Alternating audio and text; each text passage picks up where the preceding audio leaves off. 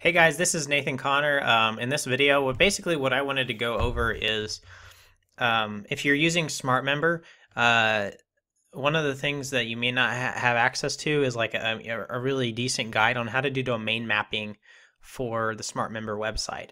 Um, so I'm just going to basically just walk walk you through a tutorial as to how I got mine set up.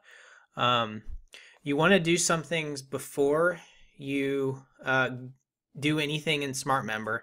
Uh, so first thing you want to do is uh, you know you want to buy a domain, buy the domain that you that you want, um, and you you where you want to go is GoDaddy.com.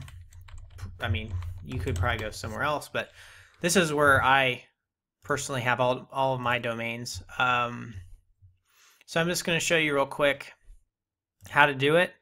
Uh, first thing you do is you go to your uh, go to your domain and you go to domain settings and it's going to have a list of um, oh never mind that was the wrong you go to manage domains um, there we go. So you go to manage domains you click on your domain and then right here um, under under DNS zone files, you're going to have the option to change the CNAME. So the CNAME has three different things right here.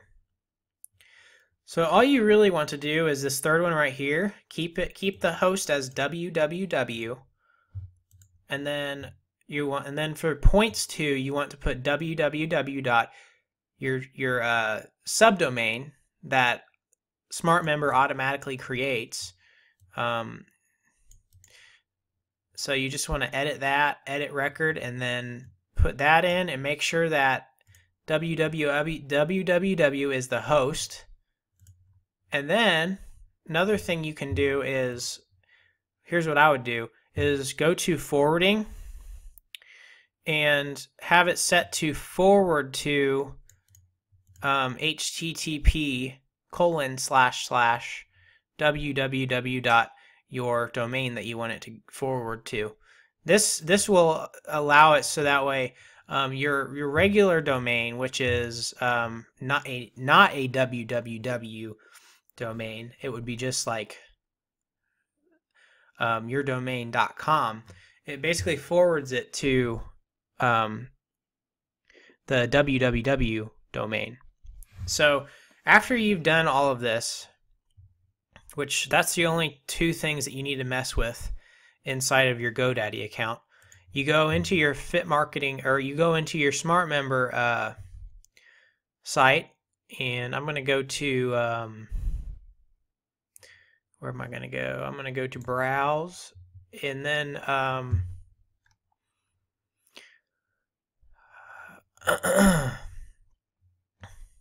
you can create a site and what you can do is um, once you're ready to do this here's what i would do is i wouldn't actually even do the domain mapping until you've got everything set up um, but you, you can do this if you want.